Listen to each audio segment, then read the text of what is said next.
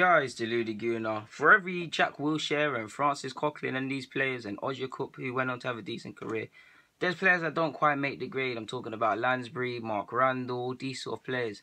But one that I was I was convinced was going to make it or have a decent career for us and be a player for us, Conor Henderson. Typically playing at a couple age groups above. Again, part of the FA Youth Winning Cup squad, one of the youngest members. He was decent from 17 to 20 years of age when I think he left, or 2021, whatever he was very decent. He had the he, he he was Irish, but he could he was eligible for England. He wanted to be like um Liam Brady. Those of you that are old enough to remember, that would have been quite a player. He had the technical qualities to be an Arsenal player. He had the vision. He had the skills. He had the, the he had the intelligence. He was just a very good central midfield player. Like, and he could play on the flanks. I don't think he would have had a career on the flanks for us. He didn't really have the pace, but he could have been a great central midfielder. And when he was 19, 20, there was he needed to bulk up. He was bulking up when he was signed when he signed his scholarship or just prior to it, there was interest from Chelsea. We had to fight them off and fight off United.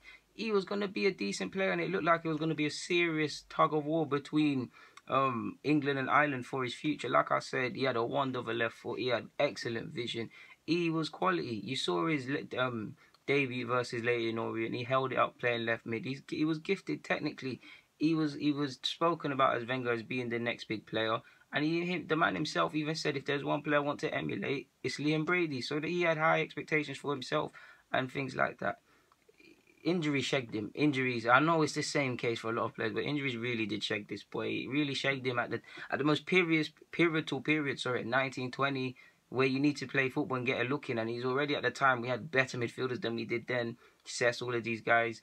He needed to be in and around the side, and these injuries it kind of sets you back. 011, 012, he had he had injuries. He, I think he only managed to play one game around this period.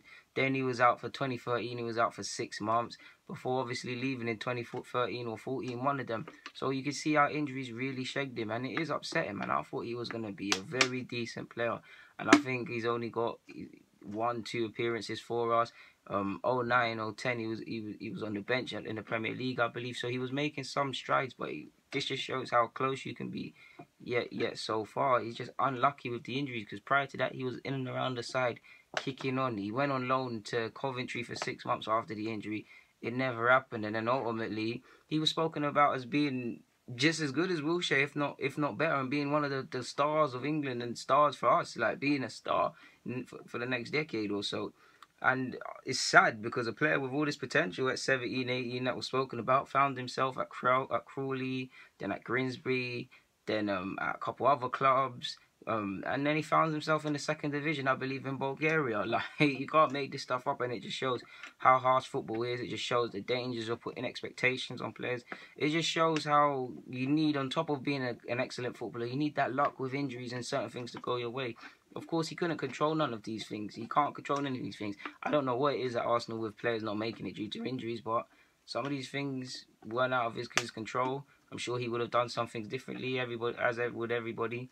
And everything happens for a reason. And maybe this was, like I say, with some players, his career was maybe his career was always gonna. He was always destined for the second division in Bulgaria. Maybe I don't believe that, but when you see stuff like that, you've always you've also got to think that because I am of the belief of players like don't get me wrong, Theo Walcott for example should be massively better than he is now, and he wouldn't have been at another top club for this long.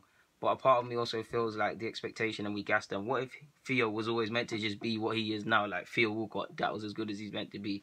I don't know, only the man above us knows. But guys, deluded, you know, I'm signing out. Thank you for watching. Let me get out of your hair.